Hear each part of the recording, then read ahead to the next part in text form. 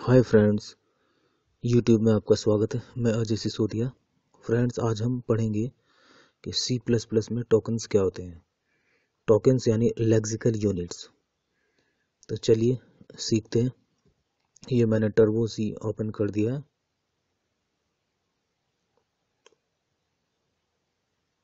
Friends tokens में keywords आते हैं आइडेंटिफायर्स आते हैं। लिटरल्स आते हैं पंक्चुएटर्स आते हैं ऑपरेटर्स आते हैं। इस वीडियो में हम जानेंगे की वर्ड्स की वर्ड्स क्या होते हैं। तो की वर्ड्स दोस्तों, सबसे पहले मैं बता दें टोकन्स के बारे में। यानी जो स्मॉलेस्ट इंडिविजुअल यूनिट होती है प्रोग्राम के अंदर, उसको टोकन्स या लेक्सिकल यूनिट कहते हैं। जैसे आप देख रहे हैं, यहाँ लिखा है वाइट या मैं लिख देता हूँ फोर तो इस तरह से ये टोकन्स कहलाते हैं। आइए हम जानते हैं कीवर्ड्स कीवर्ड्स क्या होते हैं? कीवर्ड्स वो वर्ड होते हैं जिनका special meaning special meaning reserved होता है। प्रोग्रामिंग लैंग्वेज के द्वारा। तो उनका मीनिंग रिज़र्व कर दिया जाता है। क्यों कर दिया जाता है?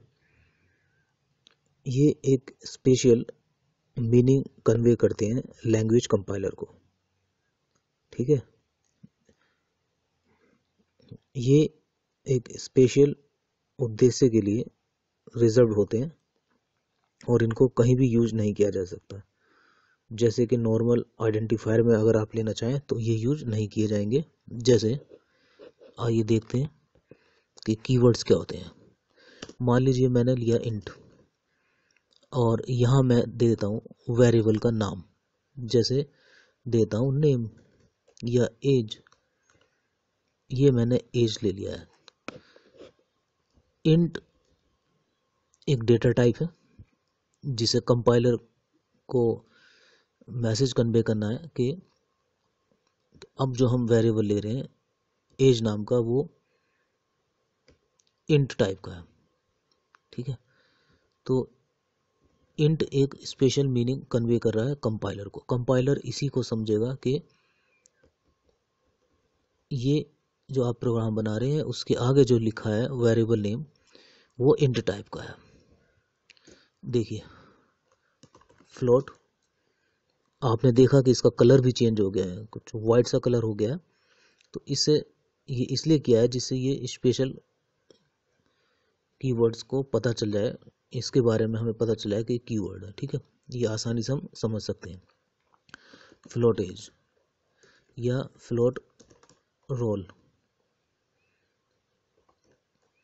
इसी तरह से कैर नेम तो कीवर्ड्स एक स्पेशल मीनिंग रख रहे हैं जो कंपाइलर जैसे कि दोस्तों हम जानते हैं कि हमें आ, कोई एक पर्सन है जो हिंदी लैंग्वेज जानता है तो हम उसको हिंदी में ही बोलेंगे। जो भी हम हिंदी में उससे बात करेंगे कहेंगे तो वो हिंदी में समझ जाएगा और उसको कर लेगा। तो इसी तरह से सबकी अलग अलग लैंग्वेज होती है। अगर आप दो लैंग्वेज जानते हैं तो आप दो में समझ जाएँगे हिंदी और इंग्लिश में अगर आपसे बात की जाए किसी और में लैंग्वेज में बात करूँगा तो आपने नहीं समझ पाएँगे। इसी तरह से दोस्तों कंप्यूटर में होता है। सी में एक कंपाइलर होता है। कंपाइलर प्रोग्राम को पढ़ रीड करता है, उसे समझता है और उसमें गलतियाँ निकालता है और आपको बता देता है। वो इसलिए करता है कि जब आगे कंप्यूटर के पास ये फ़ाइल जाएगी सी के पास, ठीक है प्रोसेस होने के लिए उसके पास सही चीज़ें जाएँ। तो कंपाइलर को आप कैसे समझाएँगे? कंपाइलर की तो कोई लैंग्वेज नहीं है।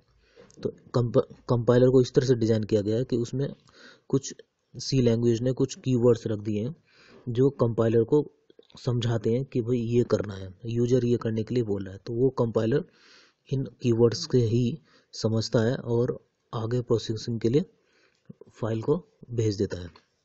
फिर वो फ़ाइल प्रोसेस्ड हो जाती है, ठीक है? तो इस तरह से आगे प्रोग्राम चलता है। अब आप देख रहे हैं कि मैंने इस एज की जगह मैं इस कीवर्ड को लिखता हूँ, यानी मैं इंट वेरिएबल का नाम भी इंट रखता हूँ। तो ये नहीं हो पाएगा दोस्तों। ये देखिए वाइट कलर हो गया। तो ये आप इसको आइडेंटिफायर की जगह यूज़ नहीं कर सकते हैं। ठीक है? जो वेरिएबल का नेम ले रहे हैं आप, उसकी जगह आप यूज़ नहीं कर सकते हैं इसको। ठीक है? तो आप कलर से भी पहचान रहे हैं इसको। ठीक है? तो आइए मैं थोड़ा सा और एग्जांपल आगे बताता हूँ। ये देखिए, मैं एक लाइन टाइप करता हूँ। This this is my file तो दिस इज़ माई फ़ाइल देख रहे हैं आप, ये ग्रीन कलर आ रहा है इसमें। इसमें कोई भी हमने कीवर्ड यूज़ नहीं किया। इसी को मैं लिख देता हूँ दिस इज़ माई फ़ाइल तो दोस्तों, ये बता रहा है कि ये दिस देखिए इसने कैपिटल में आपने लिखा है टी इस, ये केस सेंसिटिव होता है। अब देखिए, इसने आपने दिस लिखा है। तो कैपिटल टी जो आपने लिखा है, वो कीवर्ड नहीं है, ठीक है? दिस और ये आपने जैसे इस स्मॉल में लिखा है कीवर्ड ये कीवर्ड है, ठीक है? ये कंपाइलर के लिए, समझाने के लिए है ठीक है? कि कंपाइलर इसको पढ़ के समझ जाएगा कि ये क्या करना है। मैंने लिखा this I am in class fifth तो दोस्तों, आप देखिए, इसमें जो क्लास है है ये क्लास ये क्लास एक कीवर्ड है। जब आप क्लास बनाएँगे तो वहाँ ये यूज़ होता है, ठीक है? तो ये बता रहा है कि ये कीवर्ड है। तो इस तरह से हमें कीवर्ड भी पता चल जाते हैं और वो इनका कलर आपने देखा वाइट हो गया है। इसका मतलब आप इसको यूज़ नहीं कर सकते हैं, ठीक है? इस तरह से कीवर्ड्स होते हैं। तो ऐसे ही कीवर्ड्स होते हैं बहुत सारे। अब जैसे आपने देखा ऐसे क्यों होते हैं? ये क्योंकि क्लास जो कीवर्ड था, वो क्लास बनाने के ही काम आएगा। यूज़र उसको समझ जाएगा कि उसको कंपाइलर उसको कंपाइलर इससे मैसेज कन्वे कन्वे कर रहा है कि ये जो क्लास हम ले रहे हैं, ये ये क्लास का नाम है। तो हम क्लास बना रहे हैं और क्लास का नाम माई क्लास है, ठीक है? तो कंपाइलर को ये मैसेज एक स्पेशल मैसेज कन्वे करने के लिए ये कीवर्ड्स बनाए जाते हैं, जिससे कंपाइलर को समझाया जाता है। कंपाइलर इनको इनसे समझ जाता है, मैसेज से समझ, इनको लिखने से समझ जाता है कि यूज़र क्या करेगा, क्या करना है, या उसको कंपाइलर को क्या करना है। तो इस तरह से दोस्तों ये कीवर्ड्स काम करते हैं। जैसे वाइट है, इसका कलर आप देख रहे हैं, ठीक है? वाइट सा हो गया है। तो ये कीवर्ड है, ठीक है? ये कीवर्ड है। ये आप इसको कहीं यूज़ नहीं कर सकते, ठीक है? तो ये कंपाइलर के लिए कीवर्ड्स बनाए जाते हैं, तभी हमारा प्रोग्राम चलता है। क्योंकि आप उसको मैसेज कन्वे कैसे करेंगे कि क्या करना है तो उसके लिए कीवर्ड्स बनाए जाते हैं। जैसे कैच भी एक कीवर्ड है, ठीक है? फोर कीवर्ड है, जब आप लूप बनाते हैं वाइल लूप बनाते हैं, वो भी कीवर्ड है, ठीक है? फोर आप लूप लगाते हैं, ये कीवर्ड हो गया है, ठीक है? वाइल लूप बनाते हैं, ये वाइट सा हो गया है ठीक है? डू वाइल होता है।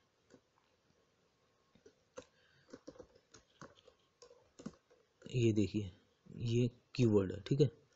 ये कीवर्ड है, ठीक है? और जैसे गोटो यूज़ आप गोटो यूज़ करते हैं, वो कीवर्ड होता है, ठीक है? तो ये सब के सब कीवर्ड होते हैं, ठीक है? इससे ये कंपाइलर को समझाने के लिए होते हैं कि क्या करना है। तो कंपाइलर इनको देखता है, इनको पढ़ता है रीड करता है, समझता है कि यूज़र क्या करना चाहता है, ठीक है?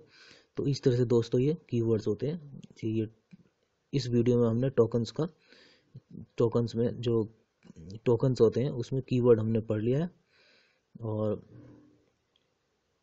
जैसे आपको एक और बताता हूँ ट्राई आप जब यूज़ करते हैं, देखिए टी आर वाई मैंने लिखा तो ये वाइट हो गया है, क्योंकि कीवर्ड है कंपाइलर के लिए कैपिटल टी आर वाई लिखूँगा तो ये नहीं हुआ है तो तो जो कीवर्ड होते हैं, वो आप उसको सिर्फ़ कंपाइलर को स्पेशल मैसेज ही कन्वर्ट करना है, तभी वो यूज़ किए जाते हैं। तो इस तरह से दोस्तों आपने पढ़ा कि कीवर्ड्स क्या होते हैं। तो नेक्स्ट वीडियो में हम पढ़ेंगे कि आइडेंटिफायर्स क्या होते हैं और उसमें क्या क्या हम कर सकते हैं। इस तरह से फ्रेंड्स आपने आज की क्लास कंप्लीट कर लिए आपने इतना टाइम निकाला, उसके लिए बहुत बहुत धन्यवाद।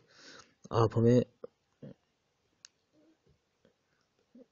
आप अगर चाहें तो हमें यूट्यूब पर सब्सक्राइब कर सकते हैं और लाइफ टाइम फ्री वीडियोज़ देख सकते हैं और ज़्यादा से ज़्यादा आप हेल्प ले सकते हैं। ये फेसबुक पर भी आप कर सकते हैं।